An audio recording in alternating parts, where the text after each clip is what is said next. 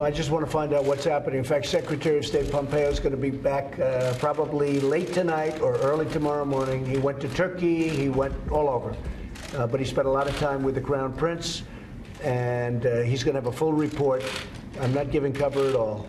Uh, with that being said, Saudi Arabia has been a very important ally of ours in the Middle East.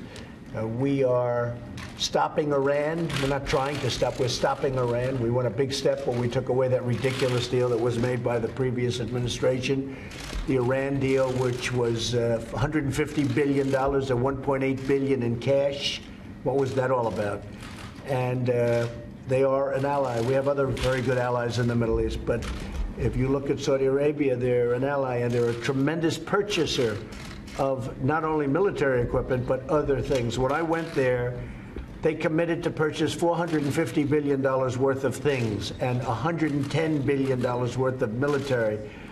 Those are the biggest orders in the history of this country, probably the history of the world. I don't think there's ever been any order for $450 billion. And you remember that day in Saudi Arabia where that commitment was made. So they're an important ally, but I want to find out what happened, where is the fault, and we will probably know that by the end of the week. But Mike Pompeo is coming back. We're going to have a long talk. Why not send the FBI over? The- We're talking about a man who lived across the river in, in, in Virginia. Why not send the FBI in to figure all this out? Well, he wasn't a citizen of this country, for one thing, and we're going to determine that. And you don't know whether or not we have, do you?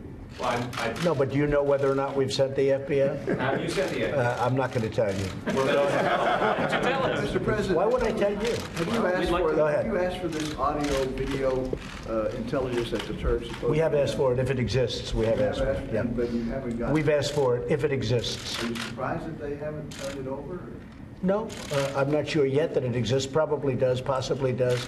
Uh, I'll have a full report on that from Mike when he comes back. Mr. President, That's one of the things I very, that's going to be the first question I ask.